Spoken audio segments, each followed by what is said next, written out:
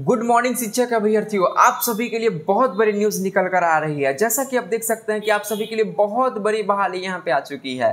बिहार में एक लाख शिक्षकों की रिक्तियाँ अगले महीने आएँगी। एक लाख शिक्षक की रिक्तियाँ अगले महीने फिर से आ रही है। अब चलिए, इसको अगर हम डिटेल में पढ़े तो देखिए क्या लिखा गया है। छठी से बारहवीं कक्षा के शिक्षकों के करीब एक लाख पदों पर नियुक्ति के लिए अक्टूबर में बिहार लोक सेवा आयोग बीपीएससी विज्ञापन निकालेगा।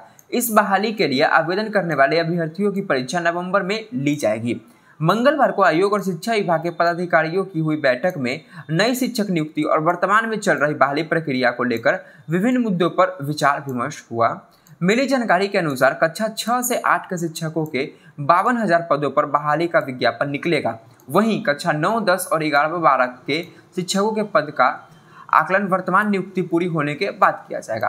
विभाग के पदाधिकारी अनुमान लगाते हैं कि 9 से 12 तक में पचास हज़ार पद हो सकते हैं। इस तरह करीब एक लाख नए पदों पर नियुक्ति का विज्ञापन निकलेगा।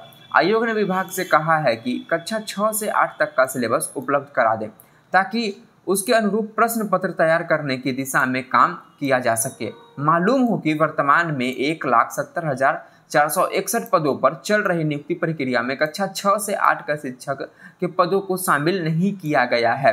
बैठक में बीपीएससी अध्यक्ष अतुल प्रसाद सर, शिक्षा विभाग के अपर मुख्य सचिव के के पाठक सर, माध्यमिक शिक्षा निदेशक कन्हैया सर, श्रीवास्तव प्राथमिक शिक्षा निदेशक पंकज कुमार सर, आयोग के सचिव रविभूषण मौजूद थे।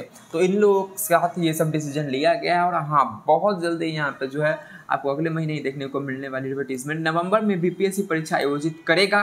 नवंबर में परीक्षा भी आपकी हो जाएगी। आयोग और शिक्षा विभाग की बैठक में हुआ विमर्श। तो जैसे मैंने आपको बताया, और क्या देखिए क्या लिखा गया, बावन हज़ार पद हैं छः से आठ कक्षा के लिए, और पचास हज़ार पद हो सकते हैं, और नौ से बारह तक के लिए। तो वो एग्ज़ाम हो जाएगा, फिर रिज़ल्ट वगैरह आ जाएगा इसका, जो फ़र्स्ट फ़ेज़ का बहाली था, उसके बाद यहाँ पे एग्जैक्ट नंबर्स आपको देखने को मिल जाएँगे। तो हाँ बहुत बड़ी न्यूज़ थी। तो इस न्यूज़ के लिए हमारे वीडियोस को एक लाइक तो करना बनता है यार, और चैनल को सब्सक्राइब करके बेल आइकन को भी क्लिक कर लीजिएगा। धन्यवाद।